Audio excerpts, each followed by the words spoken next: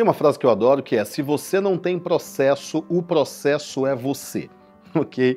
O, uma empresa, ela é um conjunto de processos. Por quê que é um conjunto de processos? Se você não, não tem, você como dono da empresa, se você não tem processos, você não consegue replicar aquilo que está na sua cabeça.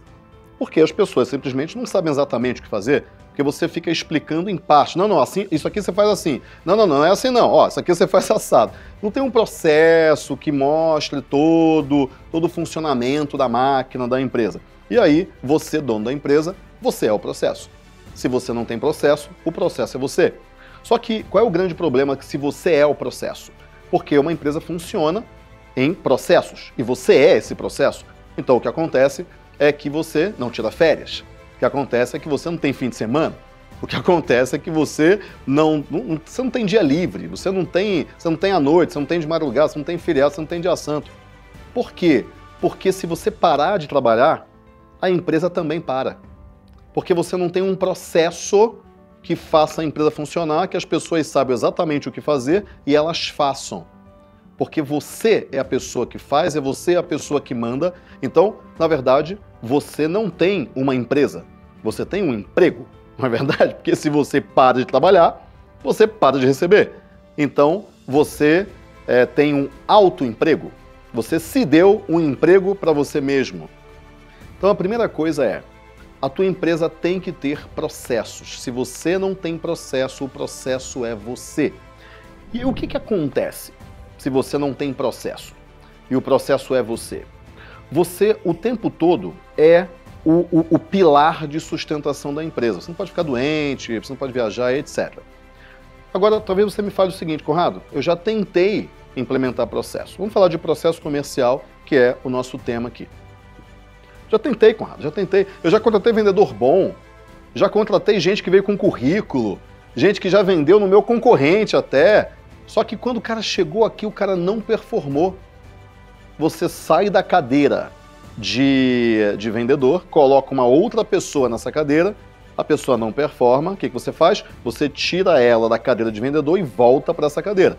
Aí daqui a pouco você fala, não, contratei um cara bom. Esse cara, ele vende até gelo para esquimó. Aí você sai da cadeira de vendedor, coloca ele, ele não performa, seu faturamento começa a cair, você tira ele e volta a sentar na cadeira de vendedor.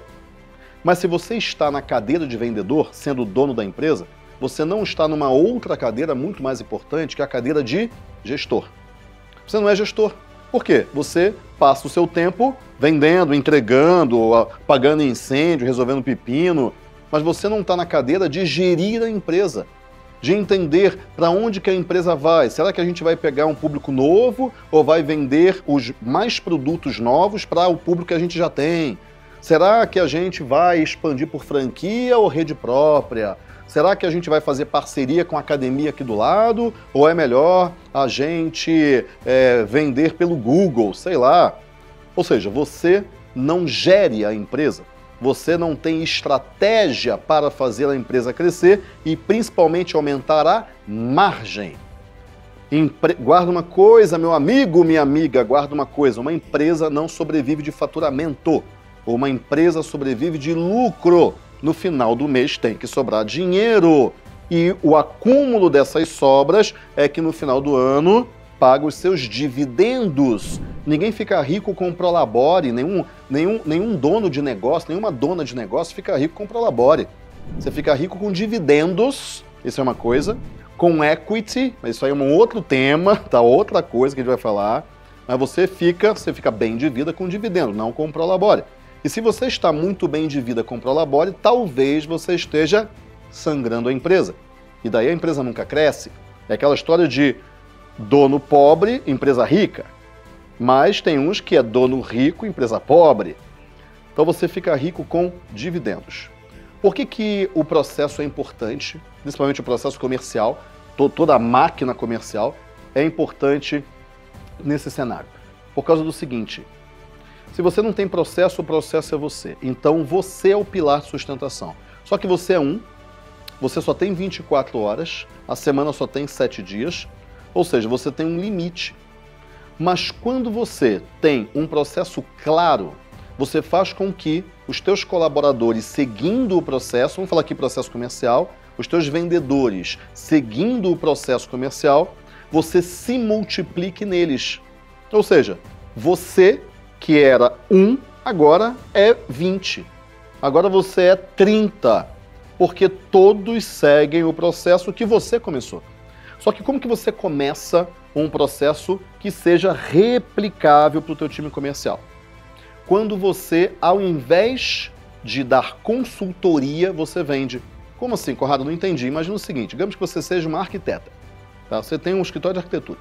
Você estudou pra caramba, você é 20 anos arquiteta. Há 20 anos você é arquiteto. Você conhece diversos materiais, diversos, diversas maneiras de fazer uma casa ficar incrível, gastando pouco. Cara, você é uma sumidade, você é uma autoridade na área de arquitetura. Quando um cliente, um futuro cliente, senta na sua frente e você vai fazer a venda do seu serviço para ele, você não faz uma venda. Você dá uma verdadeira consultoria para ele. Você mostra o mundo, você mostra o universo. Você pega aqueles 20 anos de experiência que você tem com a arquitetura e coloca na mesa numa reunião de uma hora. Não tem como esse cara não comprar. Impossível. Esse cara chega e fala: Meu Deus, isso é incrível. Você faz isso? Aí você fala: Faço, eu quero comprar. É óbvio que ele vai comprar. Por quê? Porque você encantou aquele cara. Você pegou 20 anos de experiência e adaptou naquela conversa de uma hora. E você colocou 20 anos em uma hora. Não tem como esse cara não ficar encantado. E aí você contrata um vendedor. Por quê? Porque você não está mais conseguindo vender e entregar. Porque você está vendendo bem, porque você é super técnica, você entende muito desse assunto, você encanta o cliente, ele compra de você, só que agora você tem que entregar. Você é a técnica também da entrega. Então, com isso, o que acontece? Você para de vender, porque não dá tempo, e começa a entregar. Só se você para de vender, o que acontece? O teu faturamento começa a cair, porque você está entregando. E aí você entra num ciclo que eu falo de tô rico, tô pobre. Não tenho nada. Abri o escritório agora, mudei para uma cidade nova, cara, sou muito boa arquiteta, e aí você começa a vender, começa a vender, você começa a vender, você começa a encantar as pessoas. E aí você começa a aumentar o faturamento. Vários projetos são fechados. Só que chega num ponto que você tem que começar a entregar. E aí, quando você entrega, você começa a vender menos. E aí, daqui a pouco, você está entregando, entregando, entregando, mas não fechou processo nenhum mais. Não fechou nenhum projeto mais. O que acontece? Você está pobre. Só que você está entregando. Aí terminam os projetos que você vendeu. Aí o que acontece? Agora você está com tempo para vender. Aí você volta a vender. O que acontece? Você está rica. Aí daqui a pouco você tem que entregar. Aí você não vende. Aí você está pobre.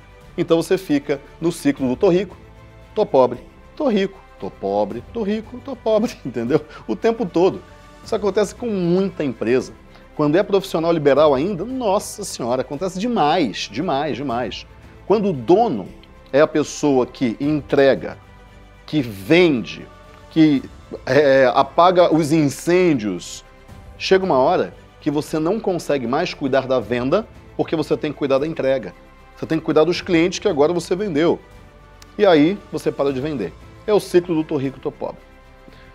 Então, quando você dá consultoria, você encanta aquela pessoa, você coloca 20 anos de experiência na mesa numa reunião de uma hora, você vai vender.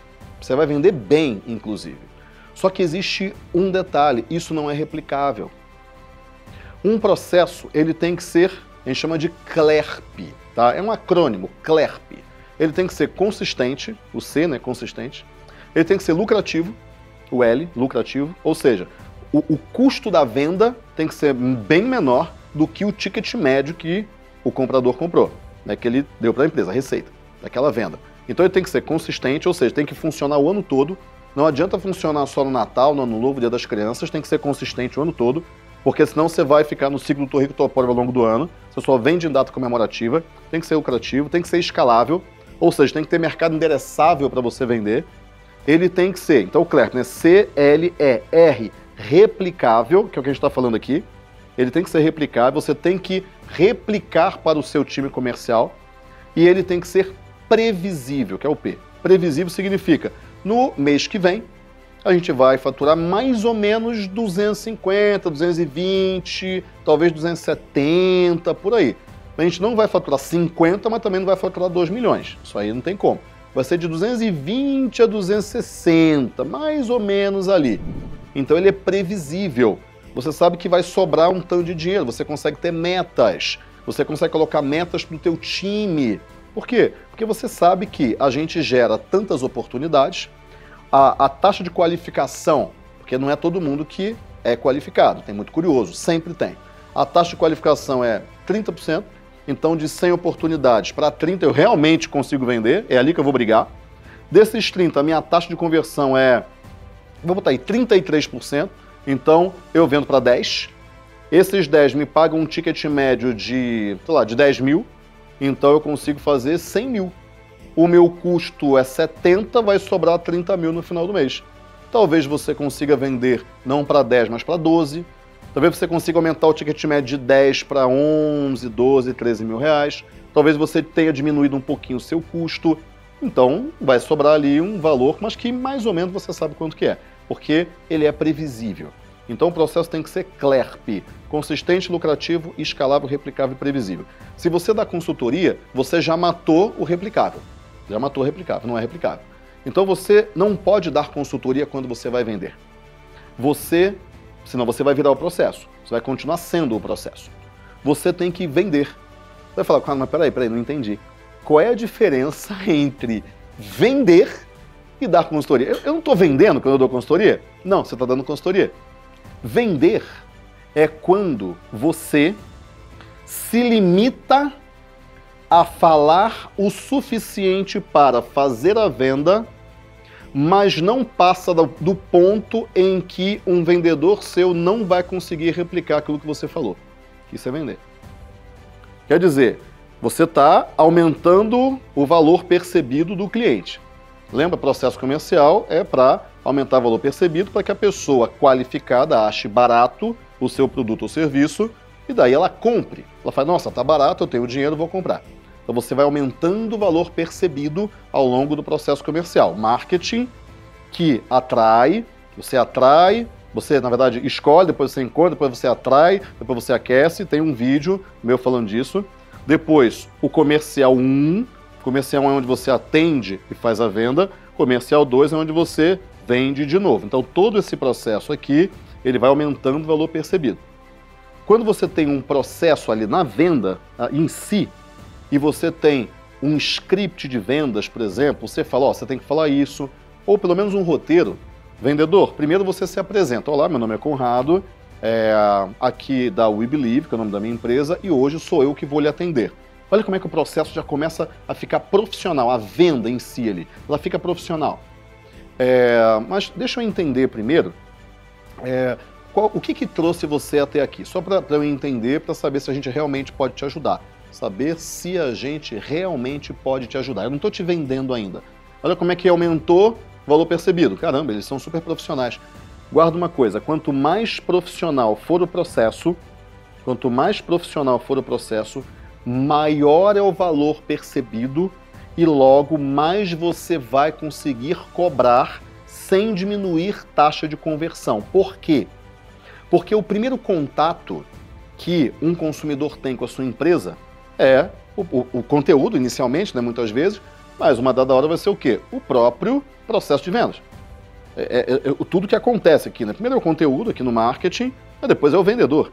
Quanto mais profissional for o processo, quanto mais ele sentir que a empresa é uma empresa que segue um processo, ela é organizada, ela é profissional, ele atribui aquele profissionalismo que ele percebeu no próprio processo comercial ao processo de entrega da empresa. Então ele passa a confiar mais na entrega, porque ele não sabe como é a sua entrega. Então o teu consumidor ele fica pegando alguns, alguns indícios, algumas pistas para saber se a tua empresa realmente vai entregar ou não. E a primeira pista que você vai dar é no seu conteúdo, logo no início, lá no marketing, né?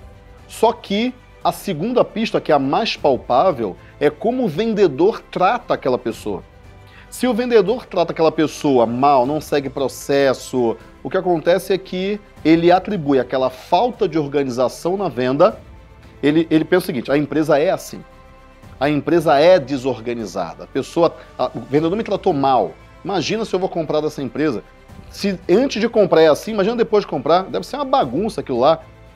E aí você destrói valor percebido. E quando você destrói valor percebido, aquilo que poderia ser barato agora ficou caro. Então, quando você tem um processo comercial, você aumenta o valor percebido pela simples profissionalização e organização percebida pelo cliente final de como você vende. E aí ele pega aquela organização e fala: ah, a empresa é organizada. Ou seja, a entrega também vai ser organizada. Que legal! Então eu estou lidando com uma empresa que vai entregar e que vai ser organizada nessa entrega. Quando você replica e todos os vendedores fazem a mesma coisa, falam a mesma coisa, você tem uma empresa não só organizada que aumenta o valor percebido do cliente final, com que faz com que ele até pague mais ou aumente a taxa de conversão, e além disso você consegue ter um time comercial vendendo a sua solução, seja produto ou serviço. Mas desde que você, dono ou dona, quando começa a venda, você saiba que você não pode passar de um determinado ponto ali na conversa de vendas. Por quê? Porque se você passar daquele ponto, o teu vendedor não consegue mais replicar. Eu também vendo. Eu sou diretor comercial da empresa e eu vendo. Eu vendo. Por que é importante o diretor comercial vender? Porque departamento comercial é departamento altamente meritocrático. Não adianta você é, ser um pastinha, você ser um. O, o, o Caio Carneiro, que é uma pessoa muito querida, ele fala que a, aquele líder comercial com cheiro de ar-condicionado, né? Que não tem a mão suja de graxa. É aquele cara que está ali na, na mesa dele falando: vendam, aumentem. Ah, não, a meta não bateu a meta, mas ele não sabe exatamente o que, que tem que ser feito também. Então, numa empresa pequena ou média, numa empresa grande é diferente, porque tem um gerente comercial, que é um cara super competente, que foi contratado a peso de ouro e tal, e etc. Ele vai lá e ele mostra como vender, ele vende também. Estou falando do dono, né? Porque o dono é acionista, né? É, é outro jogo. Estou falando de uma pequena e média. Então, numa pequena e média empresa, o líder comercial, a pessoa que está à frente do comercial, que pode ser um gerente, mas é principalmente o dono, o líder é o gerente, o dono é o diretor comercial. Você dono, você dona, você tem que ser o diretor, a diretora comercial. E você vende. Só que você não dá consultoria, você vende, é diferente. Quando eu, que sou diretor comercial da minha empresa, vou vender, o que, que eu faço? Eu, eu, eu sei que eu sigo um script, eu tenho que seguir um script o script que o meu vendedor também segue. Porque algumas vezes eu gravo aquela, aquela venda, eu peço permissão, obviamente, eu posso gravar para fins de treinamento e tudo, videoconferência. Não, pode, tranquilo, ok. Então eu gravo, e aí quando eu gravo aquela venda, aquilo vira, grava mesmo de vídeo, a gente tem muita venda em videoconferência, né? Aquela venda, ela vira uma aula para o meu vendedor. Mas se cada venda é diferente, aquilo não é aula aquilo é simplesmente eu mostrando o que eu sei. aquilo não é aula. E a pessoa não vai aprender com aquela minha venda. Ela vai aprender o que eu acumulei durante 28 anos como empresário. Não vai, não tem como, não dá. Ou seja, eu tenho que me ater, eu poderia entregar muito mais para fazer aquela venda ser fechada, muito mais. Mas eu me atenho a, ao roteiro que o meu vendedor também consegue seguir. E tem vendas que eu gravo, eu estou gravando a venda, e da hora eu falo, ah, quer saber? Vou fechar essa venda. E bum, pronto, acabou, essa aí não valeu. Por quê? Porque eu entro em todo o meu conhecimento e dou uma consultoria para a pessoa para fechar aquela venda, porque eu resolvi fechar a venda. Eu, eu, não, eu não quis correr o risco de não fechar aquela venda. Porque, obviamente, que quando eu coloco os meus 28 anos como empresário, cara, já ajudei dezenas de milhares de empresas, dezenas de milhares. E, e eu coloco tudo isso na mesa numa reunião de uma hora, é óbvio que a taxa de conversão vai subir, mas aquela venda não valeu. Eu nem entrego aquela, aquela, aquela venda para o treinamento do meu time comercial, porque não valeu. Então, para você não ser o processo, você tem que ter um processo replicável para que outra pessoa siga o processo, o teu time comercial siga o processo. Então, se você não tem processo, o processo é você. Se você dá consultoria na hora da venda, ao invés de, de fato ter um script, um roteiro, um processo replicável, você não vai conseguir ter um time comercial. Só que tem uma frase que eu gosto muito do João Adib, lá do CIMED, eu adoro, adoro aquele cara. Ele fala o seguinte: a, a, a empresa cresce no sonho do vendedor. A empresa cresce no sonho do vendedor, ou seja, quando você faz com que o teu vendedor consiga consiga, através de um processo que ele sabe que ele vai seguir, que ele consegue seguir e que ele está vendo resultado em vendas e comissão para ele. Quando você faz com que o teu vendedor siga um processo que permita a ele a atingir os sonhos dele, a sua empresa vai crescer. Porque ele vai usar a sua plataforma, aquilo que você forneceu de contexto para ele, para ele alcançar o sonho dele através da sua empresa. E aí, obviamente, que a sua empresa vai crescer. Mas se o vendedor chega na sua empresa, ele vê que é meio bagunçado, nem tem processo comercial. Algumas vezes não tem nem consciência disso. Você tem que dar consciência para ele, mas às vezes ele não tem consciência. Você fala para ele, olha, a gente tem esse processo aqui. E ele segue e ele vê resultado. Pô, que bacana. Eu vou cumprir o meu sonho aqui. Você, não, você não tem processo. Ele chega, ele fala, ó, você tem que vender esse produto aqui. Tem que vender essa mesa, você tem que vender esse celular aqui. Ele fala, ok, mas, cara, como é que eu vou vender esse negócio aqui? Aí o que, que você, dono, fala? Ou esse serviço de arquitetura. Ó, você tem que explicar o produto. O produto é assim, ó, de serviço de arquitetura, primeiro você vai ter uma reunião assim, depois você vai ter uma reunião assado, aí a gente vai ver o teu projeto, a gente vai... isso é explicação de produto. É como se eu estivesse explicando como que é um, sei lá, um, um, restaurante. Ó, o restaurante é o seguinte, tem mesa, aí você senta, aí vem um garçom, aí o garçom pergunta seu prato. Cara, mas isso não é uma venda. Isso é uma explicação do que acontece ao longo da venda. Ou seja, não, tô vendo uma calça. Não, é a calça assim. A calça do tecido X, ela tem o tamanho Y, ela não ama... Isso não é uma venda. Isso é uma explicação do produto. Então, muitas vezes, você, dono da empresa, você não ensina o seu vendedor a vender. Você ensina o seu vendedor a explicar o produto ou o serviço. A explicação do produto ou serviço é uma parte da venda. Mas a venda não é aquilo ali. A venda é muito mais do que aquilo. Eu tô falando, não estou falando do processo inteiro, não. Estou falando só do, do, processo ali da venda mesmo. Do vendedor tete a tete com o cliente e mostrando para ele por que, que ele deveria comprar o produto ou serviço. A venda mesmo, ali, a conversa do vendedor, é muito maior do que explicar o produto. Explicar o produto é uma partezinha, minúscula, pequenininha. Você tem que convencer o cara de que aquele produto vai mudar a vida dele em algum aspecto. Isso tem a ver mais com ele do que com o produto. Quando você explica o produto, e é isso que muito dono de empresa é, ensina o vendedor a fazer, que é explicar o produto, aquilo não é uma venda. E é o que acontece, o vendedor não performa, você, dono, fala, meu Deus, o vendedor não está performando, eu vou voltar para a venda. E aí você tira o vendedor da cadeira dele, de vendedor, e volta para aquela cadeira. Por quê? Porque você não ensinou ele a vender. Você ensinou ele a explicar o produto. Porque nem você sabe como se vende. Você sabe como dar consultoria. Aí é fácil vender mas o vendedor não tem essa capacidade.